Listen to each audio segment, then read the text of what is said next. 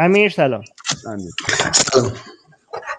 سلام من می‌خواستم راجع به چیزی من شنیدم دیروز بود ظاهرا. همین آقای قاسم گفتن که مجاهدین رو باید محاکمه بکنن. خب؟ من می‌خواستم ببینم این همه خمینی 42 سال مجاهدین رو محاکمه کرد. قتل عام کرد به کجا رسید که آقای قاسم می‌خواد فردا مجاهدین رو محاکمه بکنه؟ تو بعد احتمالا با قتل عام مجاهدین دوباره بخواد به جای برسه.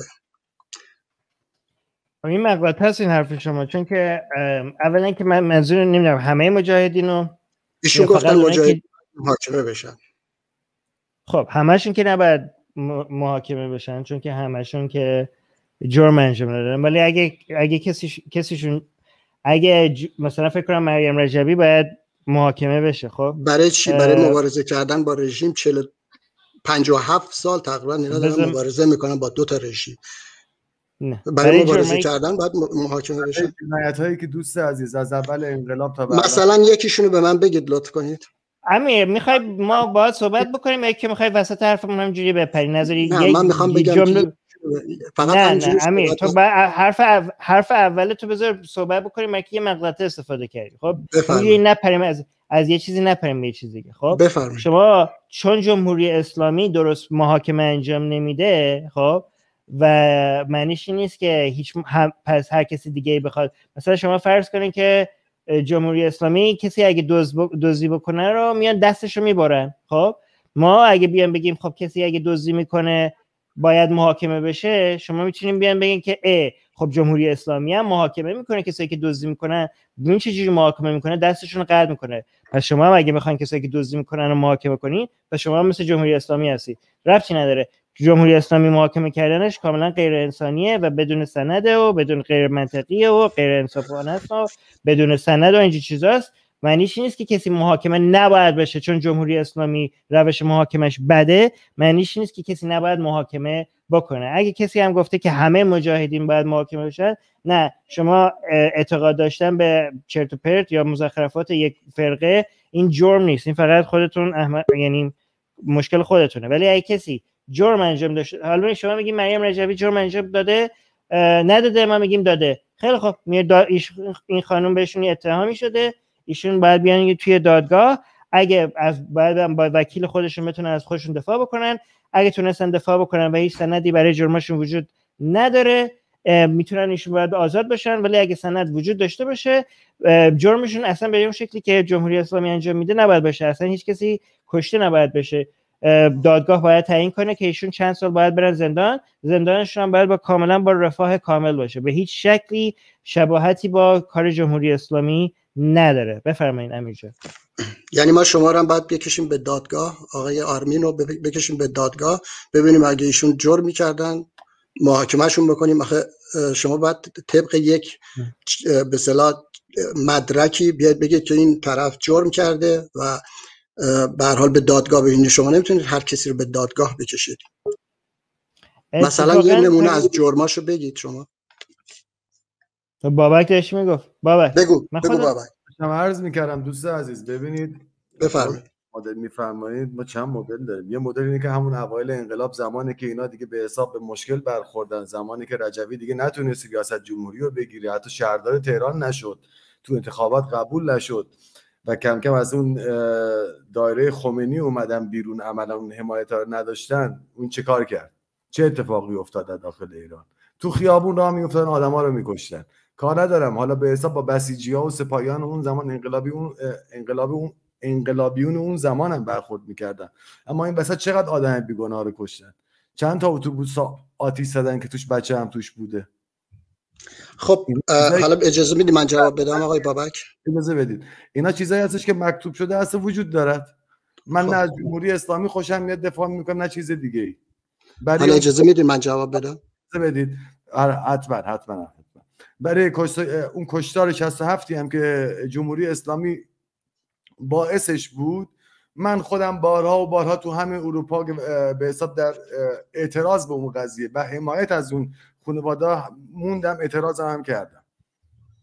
خب اونجوری هم نیستم که بگم مجاهدین فلانن یا ایکسن یا اخن یا بدن. داریم میگیم به قول آرمین فقط آنهایی که جرم مرتکب جرم شدند مسئول. آره همین الان هم یه سری جرم های همین الان هم دارن انجام میدن به برایش هم سند خیلی وجود داره. از بعد خب اجازه بدید اجازه بدید. حالا من یکی یکی. خب شما همین که صحبتی که کردین آقای بابک من نمی‌دونم سن سالتون مشخصه که اصلا اطلاع و آگاهی ندارین که مجاهدین از سال 48 به اصطلاح خمینی رو شناختن وقتی که نماینده فرستادن نجف و با ایشون صحبت کردن چون حمایت می‌خواستن بگیرن. هم مجاهدین خمینی رو شناخت هم خمینی مجاهدین رو شناختن. و مجاهدین از توی زندان خود منتظری وقتی نامه نوشت به خمینی در سال 67 گفت همین منافقین بودن که منو تو زندان اذیت می‌کردن. خب؟ مجاهدین از همون زندان شاه با آخوندا درگیر بودن. سر مارکسیستا. چون آخوندا می‌گفتن مارکسیستا نجسن مجاهدین می‌گفتن شما مرتجع هستین. خب از همون زندان این موسا خیابانی با اینا خط و نشون کشید. گفت اگر شما روزی سر کار بیاید ما با شما نبرد مسلحانه می‌کنیم. مجاهدین از همون روز اول اپوزیسیون رژیم بودن. نه اینکه به اصطلاح یعنی مسعود رجبی می‌تونست به راحتی همه قدرت ها هر قدرتی رو که می‌خواست بگیره. رجایی شما می‌دونید کی بود؟ آقای بابک. دوست عزیز امیر جان. من شما یه سوال کردم. می‌دونید رجایی کی بود؟ اجازه بده من بودم به همراه مسعود رجبی رفتم دستبوس امام خمینی و اونجا شهادتین خوندم و گفتم مسلمان. نفهمیدم متوجه نشدم. یه بار دیگه بگی من بودم برای اینکه بخوام بخش سیاست تو اون مملکت یه دیویدی کاری برسم به یک جایگاهی بخوام برسم و دیدم که دیگه روحانی یک قدرتی دارن عملا در اون مملکت من بودم رفتم شهادت این خوندم جلوی خمینی. که من این چیزی که شما متوجه نمیشم. من یه چیزی بگم بذار من یه چیزی بگم. ببینیم ما الان مدرک به شدت زیاد داریم. دو تا چیز دو تا مدرک های هم هیومن رایتس واچ داریم هم خیلی شرکت های دیگه که نشون میده که آقای امین خلق. آقای آرمین لطفا از یکی یکی نه اینکه بپریم از این شاخه به اون شاخه. خب اجازه بدید آقای چیز یه صحبت هایی کردن راجع به اول انقلاب. من از ایشون سوال کردم. شما رجایی رو می‌شناسین آقای بابک؟ عرض کردم از شما عرض کردم خدمت شما که من بودم به همراه محمود رجوی. رفتم پهلوی خمینی و شهادتین خوندم. شما رفتید شما شما رفتید با آقای مسعود رجبی پیش خمینی؟ دارم از من فکر می‌کنم با تیکه دارم این حرف می‌زنم. مگه نه درست صحبت کنید. ببینید ما داریم صحبت می‌کنیم درست صحبت بکنید. تیکه نندازید. خب من متوجه نمیشم منظورتون چیه. شما لطف کنید واضح صحبت کنید. مگر در اول انقلاب مگر نرفتن پهلوی خمینی و شهادت این خوندن فقط برای اینکه اثبات کنن که ما هم مسلمانیم؟ نه خیر شما اصلا از این قضایی ها هیچ اطلاعی ندارید. میگم مجاهدین از تو زندان اعلام کردن به آخوندا که شما روزی که بیاید سر کار ما با شما نبرد مسلحانه می‌کنیم. خب؟ بله، آخو... هم خمینی مجاهدین رو میشناخت هم مجاهدین خمینی رو میشناختن. خب؟ مسعود رجوی و موسی خیابانی اونجا رفتن و با خمینی اتمام و حجت بکنن. مسعود رجوی از همون روز اول سازمان مجاهدین به جمهوری اسلامی هم که آری اصلا اون جمهوری اسلامی آریانه رو رد کردن و گفتن جمهوری اسلامی آری ولی دیکتاتوری هرگز.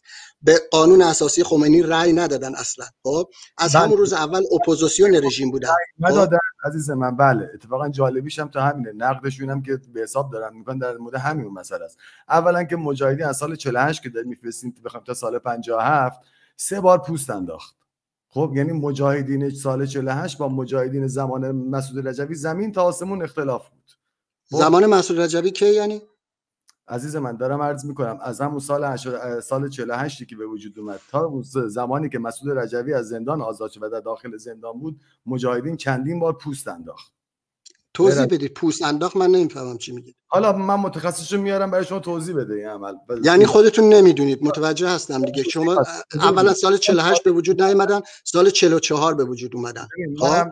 تاسیس سازمان مجاهدین سال 1344 بود نه 48 امیر عزیز امیر عزیز من آدمی هستم که هیچ وقت تو ادعا تو هیچ چیزی نمی‌کنم که می‌دونم. خب؟ بله. اصلا همچین چیزی نیست. من تاریخ خوندم. خب بله. حالا یه جایش هم شاید اشتباه خوندم یه جایش هم شاید درست باشه. کاری به این مسئله ندارم. گفتم در مورد این مسئله بخوایم متخصص تاریخ معاصر میارم تو برنامه در مورد همین صحبت کنه. ما بارها از مجاهدین خواستیم بیاین تو برنامه در مورد همین شبهاتی که هست بیان صحبت بکنن حرف بزنن هیچ کدامشان نیامدن خب که ما بخوایم روشن بشیم. ما یه سه تاریخ داریم می‌خونیم نویسندش کسی هست شاید داره با غرض نگاه می‌کنه به مجاهدین. هیچ وقت مجاهدین نیومدن تو برنامه های ما یا شبکه های دیگه که بخوان این شبهات رو برطرف کنن. بله. حالا می‌خوای بگیم چرا؟ و زمان به هر دلیل اجازه ما بدید. باید بریم سراغ کسای دیگه. بابک جان سریع تا یک یک- خب آقای آرمین یه چیزی من فقط براتون بگم. الان این هیومن رایتس واچ هیومن رایتس واچ رو آوردین بالا. خب.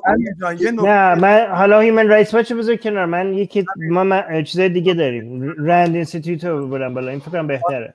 اجازه بدید. یه نکته ای گفتن نه من بله. من دیدم. بقیه هم مشکل گرفتم با هیومن رایتس واچ و من بنظر کافی حالا حالا. چرا چرا هیو- چرا من- هیومن رایتس واچ رو نیاوردین دوباره؟ آرمین. نه برای اینکه مشکلش برای اینکه مشکل برای اینکه کسایی هم تو live chat بودن مشکل به من گفتن داره. برای ولی مشکلی کافی داره؟ من دارم. مشکلی داره؟ یه مشکلی دقیقه داره؟ بمونید. یه دقیقه بیستید بابا. چه آقا امیر یه نکته ای اشاره کردید گفتید که مجاهدین به قانون اساسی رأی ندادن قبول نداشتند. درست هست؟ بایکوتش کردن. بایکوت کردن. خب قبول نداشتن دیگه رأی ندادن یعنی بله. قبول, یعنی د- دقیقاً دقیقاً. من چجوری می‌تونم میام به قانون اساسی یک کشور اعتقاد ندارم قبولش ندارم بعد برم در ریاست جمهوری همون کشوری که بر اساس اون قانون اساسی هستش میرم شرکت می‌کنم خودمو نماینده کاندید یا کاندید می‌کنم.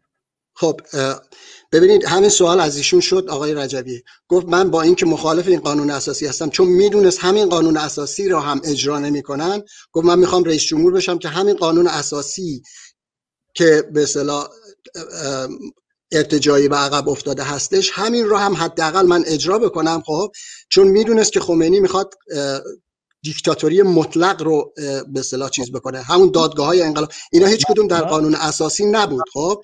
یعنی اسم این مغلطه ای که آقای رجبی به کار برده اون زمان چی بود؟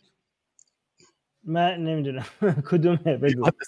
همینه که میگه که آقای رجوی اون زمان گفتش که من درست قانون اساسی قبول ندارم چون می‌دونم اینا اعمال نمی‌کنن اما میرم شرکت می‌کنم و حداقل قانون اساسی رو بتونم تو کشور اجرا کنم. خب ببینید، ما باید بریم سراغ کسای امیر جان ما باید بریم کسای دم... باید بریم ب- دنبال کسای دیگه. خب؟ ولی- اجازه بده من اینو بگم. راجب هیومن رایتس واچ هم اول بگید. راجب هیومن رایتس واچ هم خب الان دیگه اینو نمیاری بالا به خاطر که مشخص شد همین خانم الهه هیکس خب ایشون بله، مسئولش بودن. بله ایشون یک مزدور وزارت اطلاعات بودن و تمام این به اصطلاح چیزهایی هم که به اصطلاح این به بله اصطلاح جان بشری میارن؟ من خودم من خودم گفتم این مشکل داره. بنزه کافی انقدر سند درباره جرم و جنایت های مجاهدین خلق یکیشو بگو برای اعضاشون. وجود داره. ببین من بیا یکی دیگه یکی دیگه. اینم برو بگو مشکل داره. خب؟ بنزه کافی پره. خب؟ پره. ولی ببین حالا یه چیز دیگه. باشه بگیم نیست. خب؟ اتهام وقتی برای علیه کسی وجود داره یه کسی هم بیاد به من اتهام به من اتهامی بزنه من به همین راحتی می‌تونم دادگاهی بشم من اون وقت وکیل می‌گیرم از خودم دفاع می‌کنم اگه سندی وجود نداره بله آزاد. دقیقاً خب، دقیقاً خب، آقای آقای آقای. آرمین. آقای آرمین چند نظرم مریم خانم مریم رجوی هم اگه این اگه یه زمانی قرار بود بیاد ایران جمهوری اسلامی هم نبود اگر اگر من به نظرم اون موقع ایشون باید بتونن بیان وکیل بگیرن تو دادگاه از خودشون دفاع کنن. اگه که سند وجود داشت اگه وجود بله. نداره که راحت دیگه ایشون زندان نمیشن. اگه مجاهدین بارها زندان. بله مجاهدین بارها اعلام کردن ما حاضریم در هر دادگاهی بین المللی خب. شرکت الان هم رژیم توی داخل دادگاه را انداخته خب. شما از این چیزا خبر ندارید که مجاهدین اعلام کردن که اگر مردشی ببین- ببینید یک آقای آقای آرمین، آقای. آرمین آقای آرمین سه دادگاه یکی دادگاه بزرگ اتحادیه اروپا یه دادگاه لندن و یک دادگاه به اصطلاح واشنگتن. اینها سالها از دول اروپا و انگلیس و آمریکا خواستند که سند و مدرکتون رو راجع به جنایت و تروریسم مجاهدین بیارید و اینها نتونستن کوچکترین سندی بیارن و نهایتا این دادگاه ها با سند نه سند وجود داره. نه سند وجود داره. اگر وجود داشت چرا بل... نیاوردن؟ چرا نیاوردن؟ خب دارم میگه دارم میگم بگه بذاری خب اینا مگه آخرین حرفه. آره ببین ما مثل مثل اینکه نکته ای داره میگه منو بیار. بالا نمی‌دونم. اگر می‌خواید قاسم من بیار این بالا. این انقدر طولانی میشه. بذار باش میاریم ولی بذار من این حرفم بزنم. ببین یه چیزی اگه دادگاهی نشده باشه هنوز معنیش این نیست که اثبات شده که جرمی انجام نشده. خب؟ دادگاهی شد. بگم... من دیگه دادگاهی من میرم سراغ نفر بعد. اصلا نمی‌ذارم حرف بزنم. بین این دادگاه های بین المللی دادگاه هایی هستن که خیلی مجرمای دیگه توشون محاکمه نشدن و یا اینکه حتی ادعا می‌کنن که ببینید مثلا ما محمد بن سلمان هم هیچ دادگاهی هیچ, هیچ دادگاهی ایشونو تعیین نکرده که اینا جرمی انجام دادن. در صورتی که سندی که مثلا محمد بن سلمان قاچاقچی رو کشته براش زیاد هست. خب خیلی از این دلیل هایی که یک کسی از گروه تروریستی ممکنه بیاد بیرون یا داخل بیاد بیرون یا واردش بشه خیلی می‌تونه سیاسی باشه. خب مخصوصا به خاطر ممکنه تأثیری که مجاهدین خلق می‌تونه علیه ایران داشته باشه اینا ممکنه ازش می‌خواستن استفاده بکنن. خب بعضی موقع هم یه سری سندایی چی چیزایی مثلا یک سری دادگاه های یه سری کشورهایی جورستیکشنشون نیست جورستیکشن که یه سری سندایی توی کشور دیگه رو بیان تحت نظر بگیرن. خب ولی ببینید مثلا ممکنه مجاهدین خلق امروزی دیگه با اون چیزی که مثلا قبلا بود مثلا تروریستی دیگه نباشه. برای همین این دادگاه ها قرار بود تعیین بکنن که اینا یه گروه تروریستی هستن یا نیستن. خب؟ ولی معنیش نیست که امروز یه سری جرمایی رو انجام نمیدن؟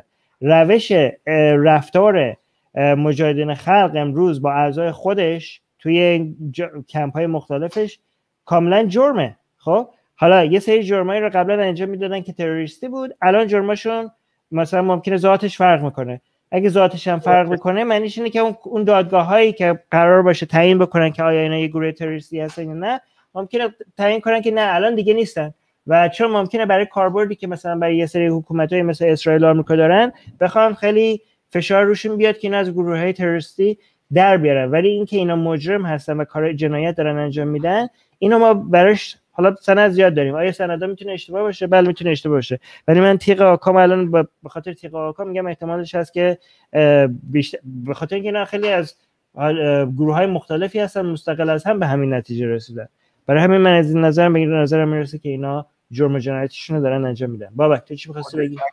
دو کاملا درست اگه میشه امیر رو بیاریم بالا حرف آخرش هم بزنیم که بریم سراغ دراواقی دوستان. بگو امیر حرف آخر تو ببینید این دادگاه از زمان شاه تا به امروز به اصطلاح چیزاشون رو تو همون دادگاه ها همه مسائل اینا رو بررسی کردن. یعنی به هیلاری کلینتون مثلا دادگاه واشنگتن به هیلاری کلینتون بعد از چند سال 180 روز فرصت داد که مدارک تو بیار که اینا تروریست هستن. خب اولا که شما باید معنای تروریست رو هم بدونید بعد بگید که فلانجا اینا عمل تروریستی انجام بماند. این هیلاری کلینتون و چیز وزارت امور خارجه می‌گفتن اسناد سری هستش. دادگاه قبول نمی‌کرد. خب؟ بعد 600 روز هیلاری کلینتون غیبش زد. نهایتا دادگاه در سال 2012 نامه نوشت به هیلاری کلینتون که ما 90 روز بهت فرصت میدیم. 180 روز بگو ما بریم نفر بعد. بله اینو 600 روز بهت فرصت دادیم ولی نیومدی. 90 روز بهت فرصت میدیم مدارک تو بعد بیار. هلری کلینتون یه نامه نوشت که من اینجوری هم سرم شلوغه نمی‌رسم و فلان اینا. و تا روز آخر تا آخرین روز اسم مجاهدین رو در لیست تروریست نگه نگه داشت. و اینی که شما میگید نمی‌دونم به خاطر اینکه می‌خوان از مجاهدین استفاده بکنن و فلان اینا به خاطر این در آوردن اولا که تو اروپا و آمریکا دادگاه و سیاست های خارجی جدا هستن خب؟ و به حال من می‌خواستم بگم که مجاهدین حاضر هستن در هر دادگاهی هر بین المللی همین امروزش هم بارها گفتن به چیز رژیم. بیا شرکت کن و ما حاضر هستیم در هر دادگاهی دلت می‌خواد شرکت بکنیم خب؟ با تشکر. مرسی من مرسی همین جان فعلا.